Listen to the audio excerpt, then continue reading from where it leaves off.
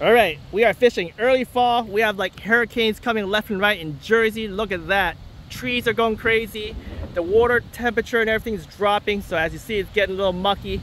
And a great thing to throw out during this time are spinner baits. This small one right here from Tiemco, you get a Bait Finesse Empire, slays bass in a small pond. Just cast it out there, get it close to the bottom and slow roll. Let me show you.